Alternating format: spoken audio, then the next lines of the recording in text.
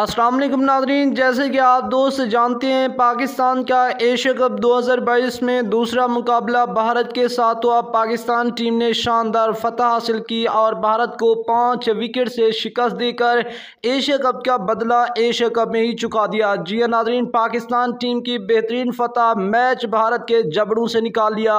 मगर Pakistan cricket fans के लिए एक बहुत ही बड़ी और अफसुदा खबर है, पाकिस्तान का एक और खिलाड़ी अनफिट हो चुका है। नाजरीन, उसके के कम इम्कान हैं कि वो दोबारा से एशिया कप खेल सके। मुकम्मल तफसील से आपको आगाह करते हैं क्योंकि पाकिस्तान का अगला मैच अफ़गानिस्तान के साथ है और पाकिस्तान का मेन खिलाड़ी इंजर्ड हो चुका है।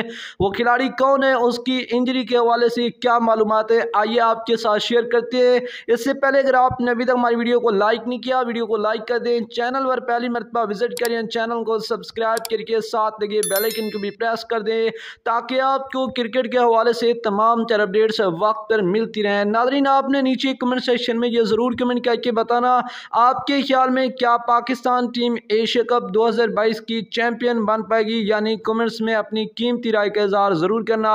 नाजरीन, Pakistan cricket team Asia cup के अंदर पहुँचती गई तो पाकिस्तान के ऊपर इंजरी के बादल मंडलाते कभी शाहीन अनफिट है, कभी मोहम्मद वसीम जूनियर अनफिट है, कभी शाहनवाज धानी अनफिट है। इसी दौरान पाकिस्तान का अहम खिलाड़ी मोहम्मद रिजवान भी अनफिट हो चुका है।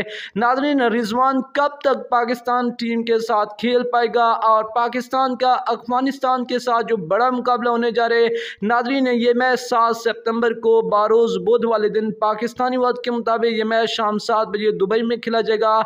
नाजरीन, रिजवान की इंजरी की बात करें तो उसका एम आई आर किया गया, जो उसका अभी तक ऐलान होना है कि वो पाकिस्तान टीम में होंगे यानी नाजरीन, अभी तक कोई खबर ऐसी नहीं मिल सकी। ऐसा कहा जा रहा है कि कुछ जराए से कि रिजवान एशिया कप से बाहर हो सकते हैं, क्योंकि पाकिस्तान के लिए एक ख़तरे की घंटी है। पाकिस्तान का मेन खिलाड़ी एशिया कप से बाहर हो जाएगा और पाकिस्तान के एक शार आ गए।